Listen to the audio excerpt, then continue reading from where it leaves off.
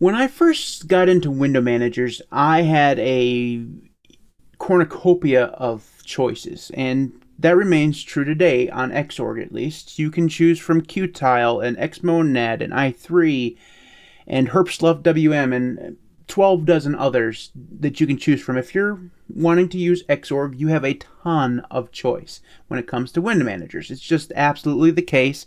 And it's been the way for a long time. Now, I make the following video knowing that it, that wasn't always the case. When window managers first became a thing, there was just a couple, and then they kind of branched out and expanded and got forked off from each other. Like, for example, Awesome Window Manager is a fork of DWM. I think Xmonad is also comes from the DWM family. So many of them come from DWM. Like DWM is one of the earliest ones, and it was just around for a very long time. And there are other ones that are older, and you know, the point I'm trying to make is that there's just a lot of them, but it wasn't always that way. But we're entering a new era, or we have entered a new era, when we're transitioning over to something new. The old age of Xorg window managers is over, or at least it's dying off, and we're moving on to the era of Wayland compositors. Now, we can have a whole discussion whether or not we want to call these things Wayland compositors or window managers. I prefer to, to call them what they always have been, but whatever. The argument I instead want to make, though, is that Hyprland is the only good one. And that makes me sad. I hate that window managers or Wayland compositors have devolved into a one horse race. Now, is it always going to be like this? I don't know. We'll talk about that towards the end of the video. But if you go spelunking through Unix porn or you talk to your buddies who use window managers, chances are they're going to be using Hyprland. Now, it's not universal. There's still a lot of people on Xorg that are still using window managers on Xorg like I am.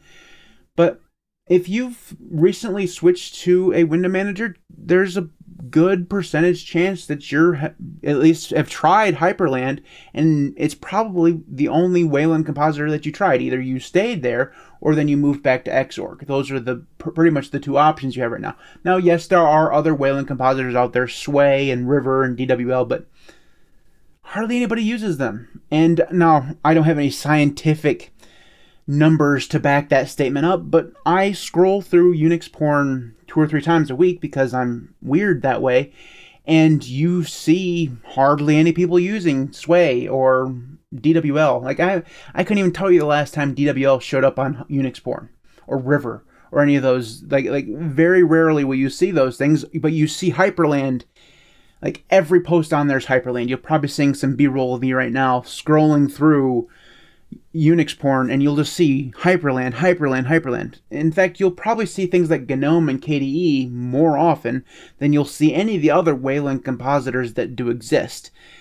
And like I said, this entire situation makes me sad. Now, like I said, we'll talk more about whether or not it's always going to stay this way towards the end of the video. But as of right now, it feels like Hyprland has won. Other developers have given up or have had no success in making their window managers or Wayland compositors popular. And Hyprland is just where it's at. If you want to use a Wayland compositor, a Wayland window manager, Hyprland's the only one that you can use. If you want to have a good cohesive experience with all the fixins that go along with it, right? Things like a, a locking mechanism and a, a, a, cursor manager and all the stuff that goes along with the Hyprland ecosystem. They've done a really good job of building that up. No other Wayland compositors have. Sway kind of started off on that road, but it just fell off a cliff somewhere along the line, and it hasn't felt like it's gone anywhere in the last couple of years, and hardly again anybody uses it.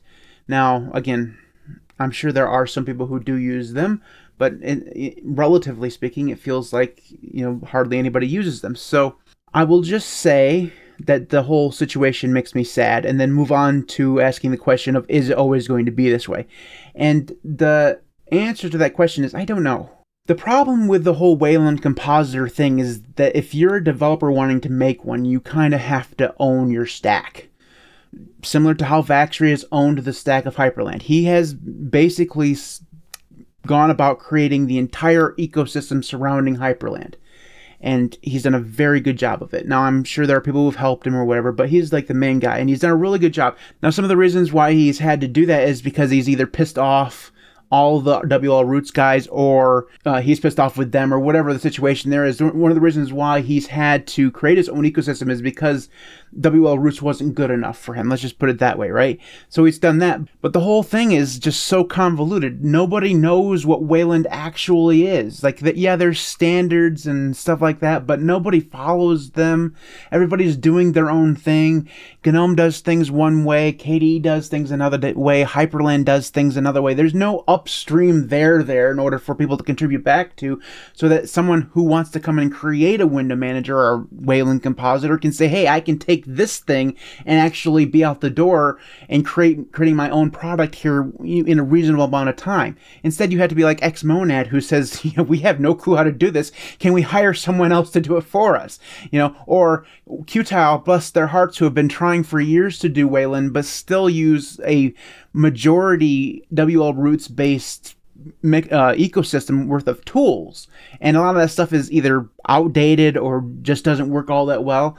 They haven't done a good job of creating their own ecosystem, and that has led to an incomplete experience. Other Wayland compositors are just not a big enough team in order to do what Vaxry seems to have superhumanly done, is which is create that ecosystem. And you really do have to create your own ecosystem because, well, yes, again, there are standards on the whole Wayland compositors thing.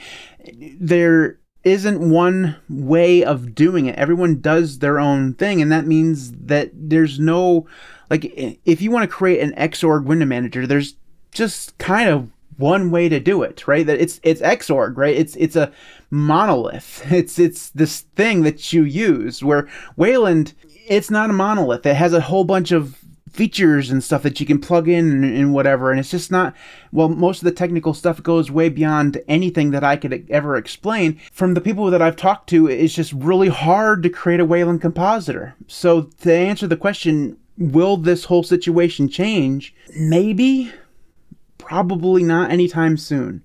And like I said, going back to the beginning, that makes me extraordinarily sad and a little up, you know, quite upset about the whole situation because, like I said, when I first started getting into the whole compositor w- window manager thing, there was so much choice and that was cool. Like if I wanted to use i3, I could use i3, and it did things in a slightly different way. It managed key bindings and all that stuff in its way, and whatever. You know, if I wanted to go use Xmonad for whatever reason because I had a Haskell fetish, I could go do that. You know, it'd be awesome.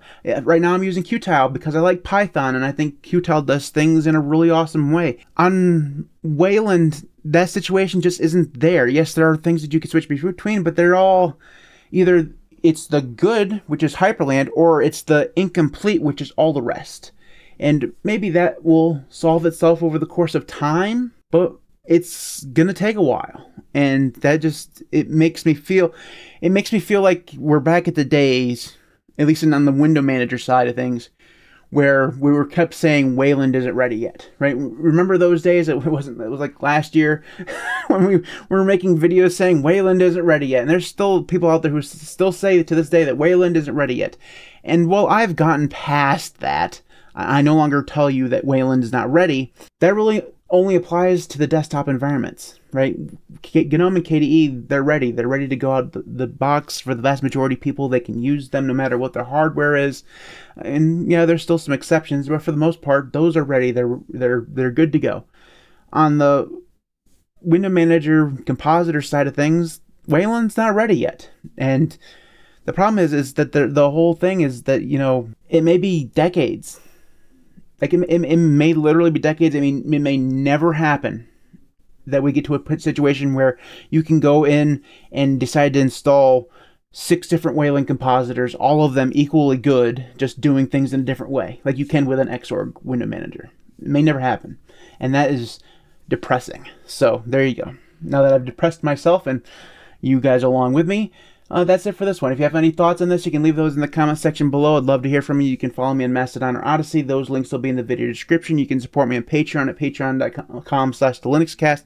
Also, YouTube uh, and Ko-fi support is down there as well. You can just find those links in the video description. Thanks to everybody who does support me on Patreon and YouTube. You guys are all absolutely amazing. Without you, the channel just would not be anywhere near where it is right now. So thank you so very much for your support. I truly do appreciate it. You guys are just seriously so very awesome. And uh, thanks everybody for watching. I hope you have a wonderful day, wonderful weekend, whatever it is, and I'll see you next time.